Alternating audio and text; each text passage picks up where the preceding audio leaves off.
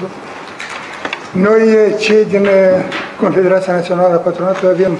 dreptul de a spera la mai mult și la mai mare, din simplu motiv că dumneavoastră ați avut,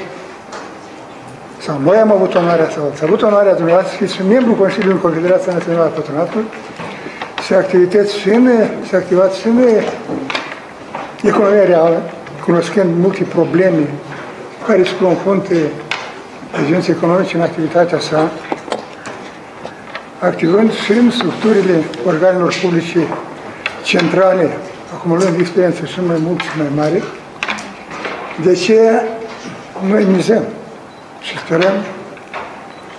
în avans la o colaborare fructuoasă cu Confederația Națională a Patronatelor, cu mediul de afaceri, în așa fel și în așa scop, ca condițiile acestora să fie favorabile, ca economia să prospere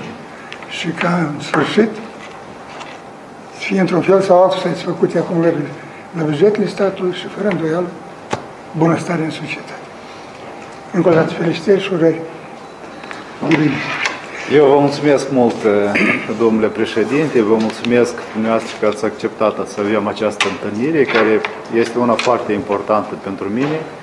chiar dacă în ultimul timp s-au perindat mai multe întâlniri de, de acest tip, eu vă doresc și dumneavoastră să nu se întâmple lucrul ăsta atât de des, pentru că asta ar însemna instabilitate. În acest context,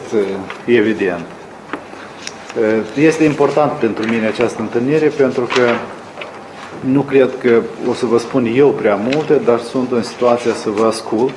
și cu siguranță vor fi luate în calcul toate doleanțele și propunerile uh, dumneavoastră.